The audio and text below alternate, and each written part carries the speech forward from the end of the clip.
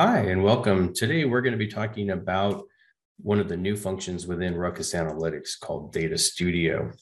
Data Studio is our new version of Data Explorer. So hopefully you guys have used Data Explorer in the past to either help uh, clients or customers, or at least just for your own knowledge about how um, to access all the data that goes into analytics and ultimately that's used for predictive things, resolution, and, and um, analysis.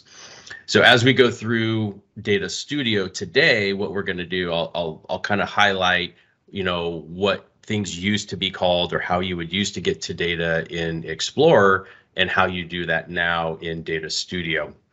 And then I'll kind of wrap it up with probably the coolest feature that's come uh, as a result of Data uh, Data Studio, um, but I'll leave that till the end. So it's a nail biter.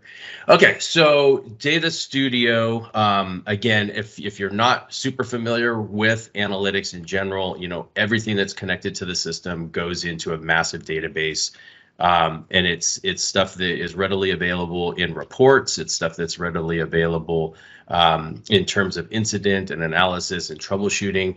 But at the end of the day, those aren't always enough. And so if you're looking for that needle in the haystack, that one thing um, that will help you solve a customer problem, you have to get to that raw data. So again, in the past, it was always Data Explorer. Um, for those that haven't been in it before, Data Explorer is basically organized in data cubes.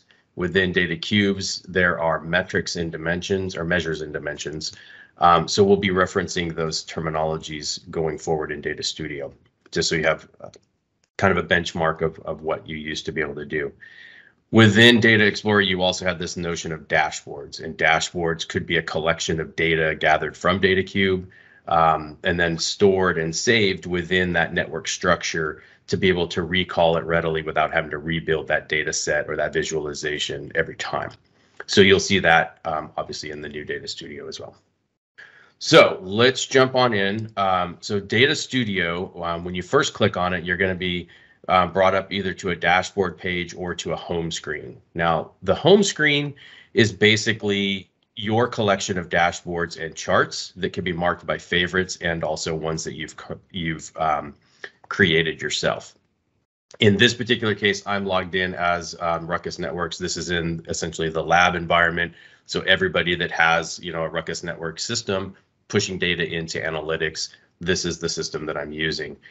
Um, that's important to note as we start building some of these charts and reports and dashboards um, because you're going to see a lot of data and that data won't necessarily be available in a customer system.